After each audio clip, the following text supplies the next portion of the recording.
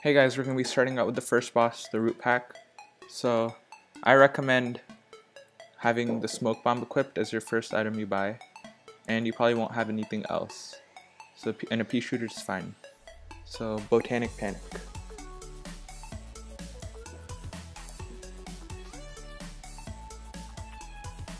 Stay at the back so you can avoid the potatoes. The potatoes balls. And you can parry those worms at the end.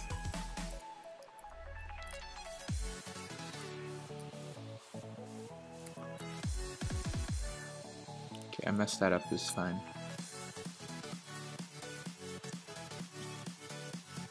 Here comes the onion from the middle, so stay clear of the middle. Keep your eyes out on top, because the tears come from the top. If you see one above your character, run out and then run back in.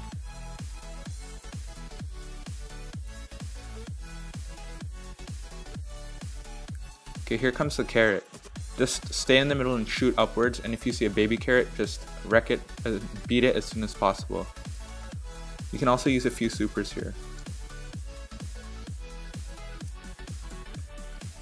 Okay, now just run side to side so you uh, so you can avoid the lasers.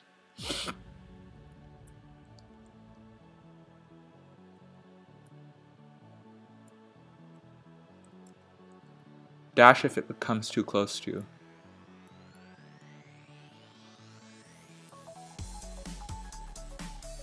That's a boss. Thanks for watching.